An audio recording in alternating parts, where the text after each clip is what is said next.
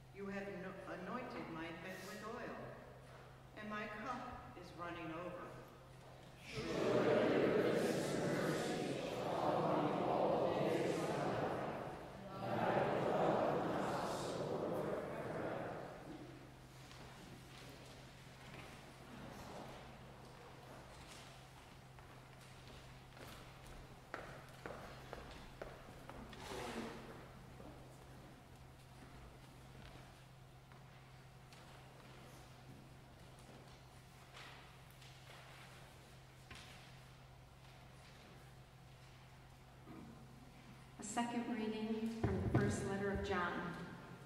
We know love by this, that he laid down his life for us, and we ought to lay down our lives for one another.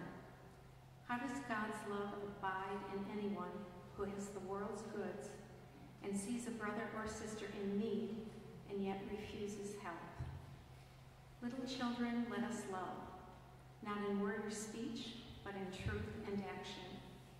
And by this we will know that we are from the truth and will reassure our hearts before him whenever our hearts condemn us.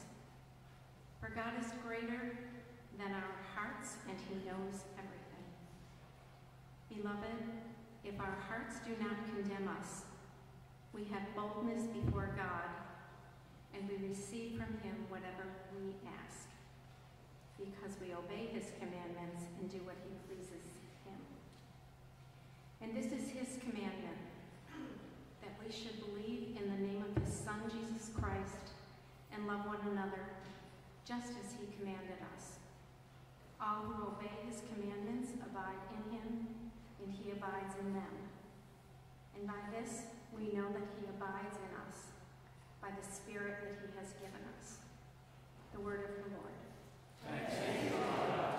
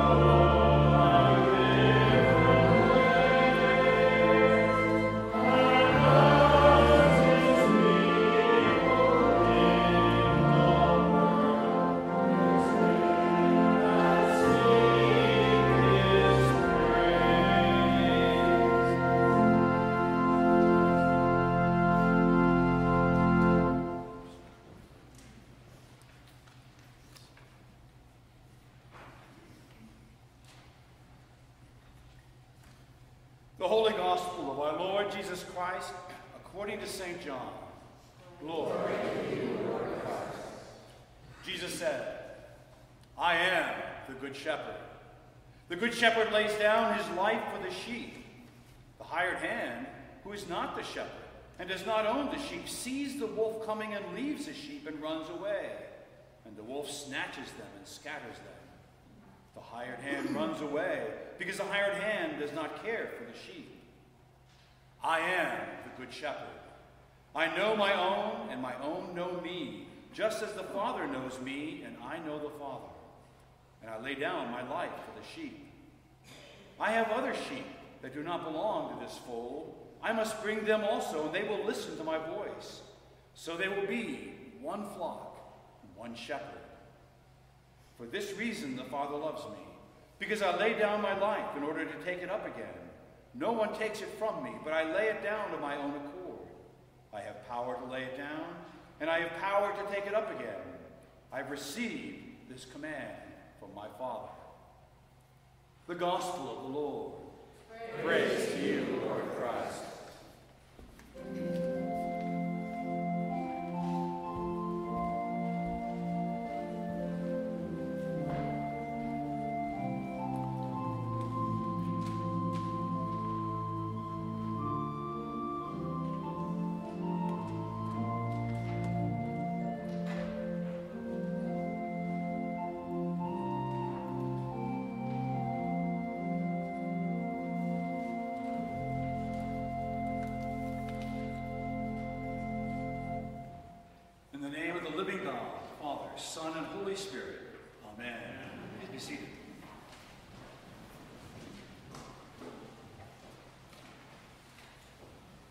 Priest who sponsored me for ordination many years ago now was a man named Father Dan Sullivan.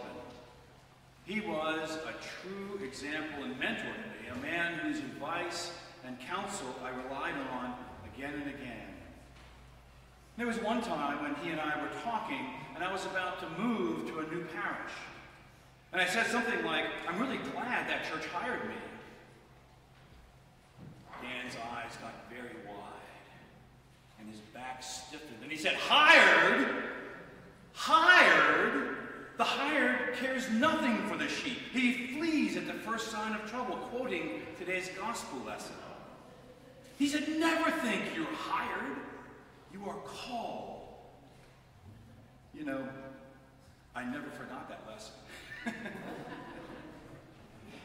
Today's gospel, I think, is especially pertinent to us here at Christ Church Guilford, you know, as, as you and I anticipate the coming of your new rector and his family.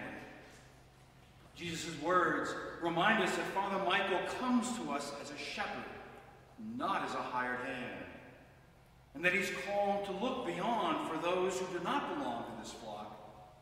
And that shepherds are called to point not to themselves, but to the one who is the Good Shepherd. Jesus puts this contrast between the shepherd and hired hand in sharp focus. He says, I am the good shepherd. The good shepherd lays down his life for the sheep. The hired hand, who is not the shepherd and does not own the sheep, sees the wolf coming and leaves, and, and the sheep leaves the sheep and runs away. And the wolf snatches them and scatters them. The hired hand runs away because the hired hand does not care for the sheep. You know, as your vestry and wardens have learned, you know, the Episcopal Church has its own kind of esoteric vocabulary regarding rectors and parishes. You know, the priest is called, not hired. The details of the arrangement are, is, is, are, is not made in a contract, but instead in a memorandum of understanding. These emphasize this special relationship that exists between priest and people. I think it's an important perspective to have as Christ Church begins its new chapter of its life with this new rector. Remember always, Father Michael will see this not as a job, but as a calling to serve. And for you, he is not the hired hand who you can, you know, who, who can be told what to do, or the hired hand to be expected to do everything. You know, there is always this temptation in churches to think that the church is where the minister ministers and the congregation congregates. Not true. Again, I think the, the Good Shepherd image is helpful. You know, the shepherd's role is different than the sheep. A shepherd guides, protects, nurtures, and cares for the sheep, while the sheep do their sheep thing, whatever that is. St. Paul tells us that the role of the Christian leader, the priest, the shepherd, is to equip the saints for the work of ministry. The shepherd's role is for you to enable you to do your Christian thing, to make a difference, to be servants and witnesses to God's love to the world. And then Jesus continues. He says, I am the good shepherd. I have other sheep that do not belong to this fold. I must bring them also, and they will listen to my voice. So there'll be one flock and one shepherd. Jesus, the Good Shepherd, was not just concerned about his existing flock of, of 12 disciples and the crowd that followed him, but also those other sheep that do not belong to this fold. The faithful shepherd, priest, pastor needs to be like Jesus in this regard and look beyond the flock into the world. Now, you can hear the rumblings that have happened in Episcopal churches far and wide. You know, we pay his or her salary. They need to be concerned about us. I've heard that. That was that was been accused of me. I remember hearing of a, a great priest, one who took this passage very seriously. She opened the church she served to the community, a community that was in need. And at one point, well, 2,000 people a week pass through the doors of that church to receive food or shelter or, or AA meetings or counseling or encouragement or more. But some people in the church, needless to say, complain that she didn't spend enough time ministering to them. Christianity at its core is outwardly focused. In the Great Commission, Jesus calls us to go and make disciples of all nations.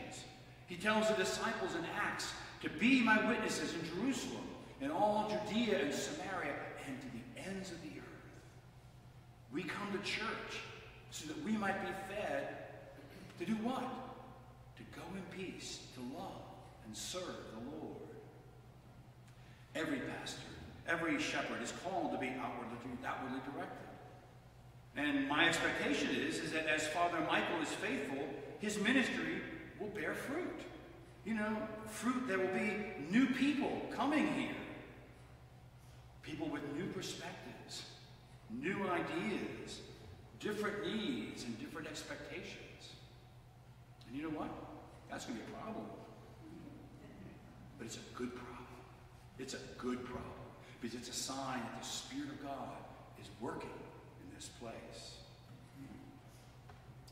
And lastly, you know, there's an old joke about what three different clergy have in their sacristies as they prepare for worship. You know, the Roman Catholic priest has a crucifix in, in his, as he goes out to worship. And the Baptist preacher has a big Bible that he looks at as he goes out, you know, to lead worship. And the Episcopal priest has a mirror. just so you know, there are two back there, just, just, just for the record. Father Michael is called to be your shepherd, pastor, and priest. He will be successful in that calling to the extent that he points you and me not to himself, but instead to the one who truly is the Good Shepherd. For it is the Good Shepherd, Jesus, who can make a transforming difference in your life and in mine. He tells us clearly, he says, I am the Good Shepherd. The Good Shepherd lays down his life for the sheep. Jesus knew what his mission, his purpose was. He tells us in Mark that the Son of Man came not to be served, but to serve, and to offer his life as a ransom for many. Just as the young shepherd David used his sling to protect the sheep from danger, so Jesus offered his life to protect us from the powers that seek to destroy us. The Good Shepherd also knows us. He says, I know my own, and my own know me. You know, in a world of increasing isolation and separation and division and despair, it's good news to know that we have a God who knows us and loves us. I think we all know that one of the great gifts of the deep relationships that we have, our marriages, our friendships, our, our family, is, you know, that, that the other person knows you, good, and bad, warts and all, and they still accept us, and they still love us. That's the kind of relationship we can have. We have with Jesus. And we can know him as well. He says, I know my own, and my own know me. And we can know Jesus. We can know Jesus as we come forward in the breaking of bread. We can know him as we encounter him in Scripture. We can know him as we serve in Christ's name. We can know him as we experience God's power, God's love, God's forgiveness in our lives. For the Good Shepherd calls you and me to life. In the verse immediately preceding today's lesson, Jesus says, I have come that you might have life and have it abundantly. You know, just as the good shepherd enabled, just as a, a shepherd leads, enables sheep to do their sheep thing, so the good shepherd enables us to do our human thing. With God's guidance, God's protection, His forgiveness, His nurturing, His strength, we can truly become the men and women that God created us to be. Irenaeus, one of the great saints of the early church, wrote this. He said, The glory of God is humanity fully alive.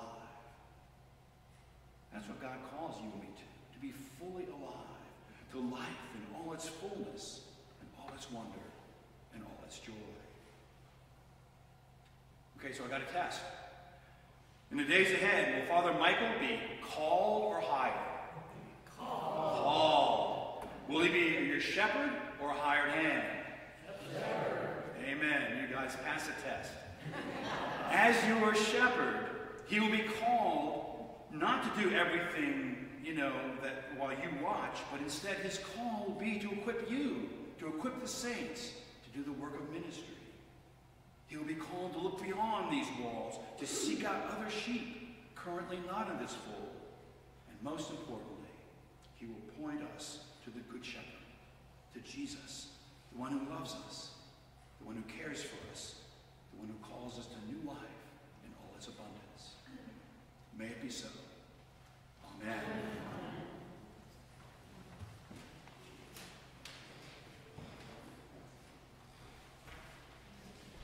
And we continue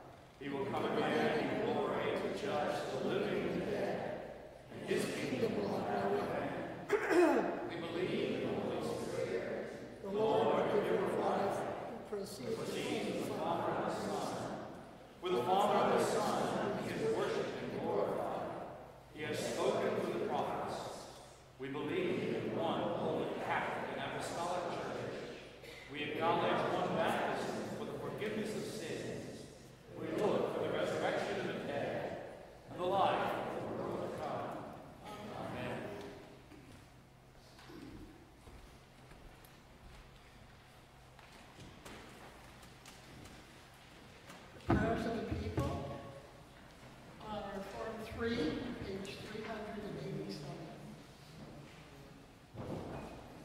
Father, we pray for your holy Catholic Church.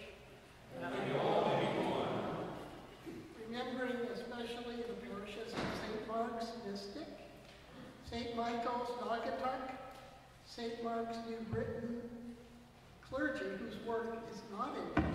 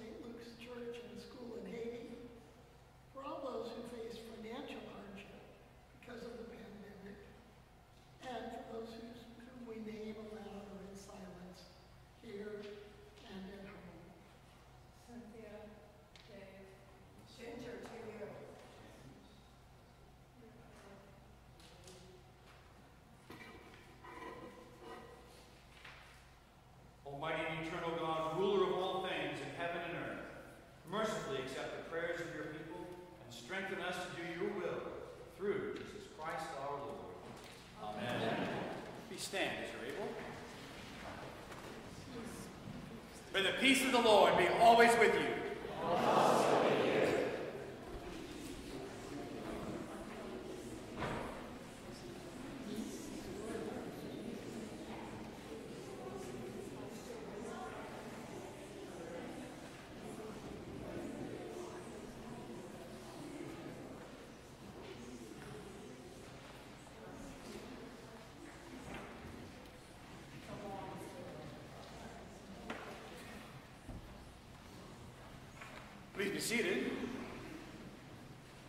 over to whoever, oh, okay, here we go.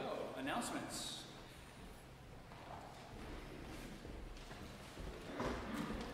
Good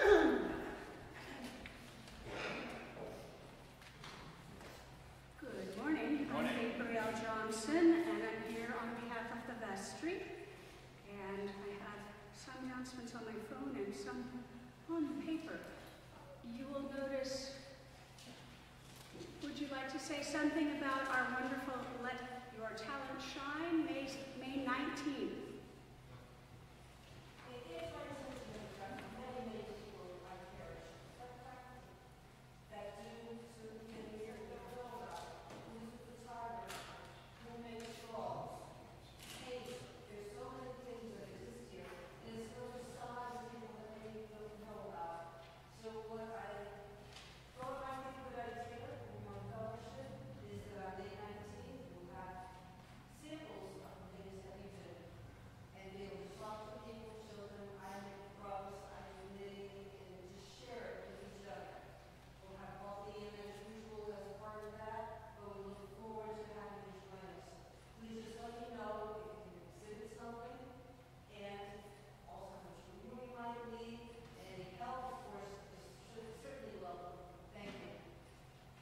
Okay, so did you get that?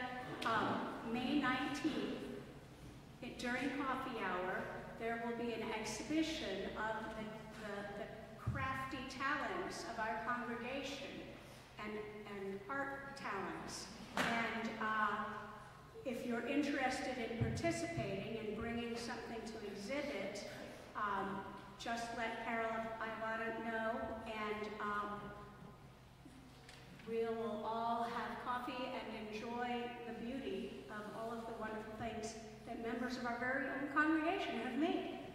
So please come that day, and please, if you if you have something at home that you do, and and nobody knows, or everybody knows, and they'd really like to see it, bring it along. So. Um, also, we are hiring a child uh, sitter for during during the church uh, for the uh, pretty much year round. So anytime now, if you know of anyone who would be interested in that position, please tell them about it and have them apply. Uh, the other thing that's new is, and do read everything on your bulletin. I mean, a lot of it's the same as usual, but it's well worth reminding yourself.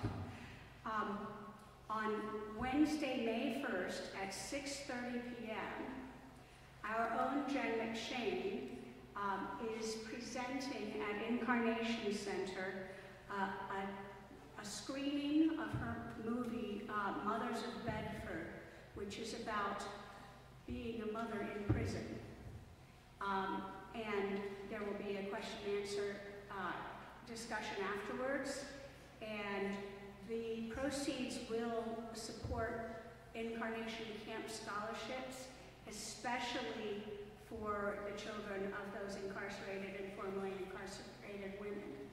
So that's uh, through an organization called Hour Children, Hour with an H.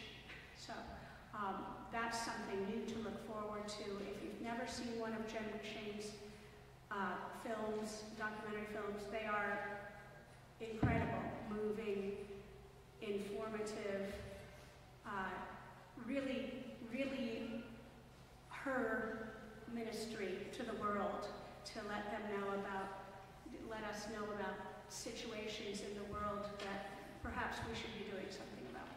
So, um, those are your announcements today, and uh, if you have any questions, ask me or look at the uh, newsletter. And coffee, hour. Oh, and coffee hour today, yes, sorry. Oh, yes, and thank you very much to Bill Kavanaugh. Wonderful sermon, thank you.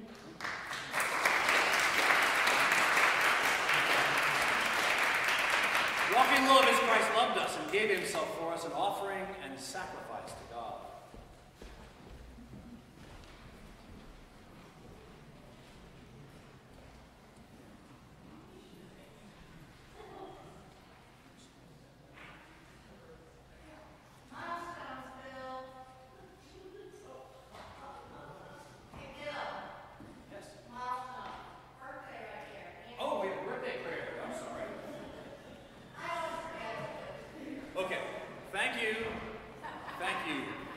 does anybody have a birthday, celebrating a birthday or anniversary? We do have a birthday. More than one.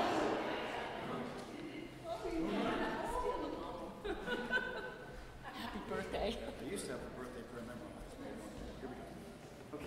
Your name is? Nancy and Michael. Okay. There we go. okay. Let us pray. Watch over your children, O Strengthen them when they stand. Comfort them when discouraged or sorrowful. Raise them up if they fall. And in their hearts may your peace, which passes understanding, abide all the days of their lives. Through Jesus Christ our Lord. Amen. Happy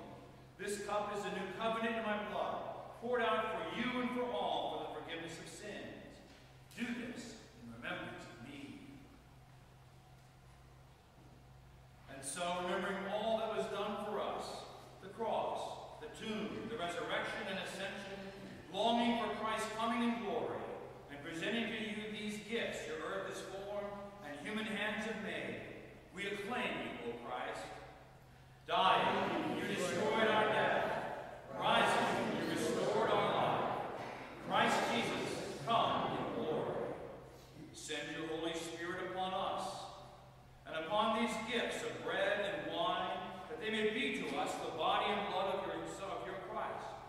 Grant that we, burning with your Spirit's power, may be a people of hope, justice, and love.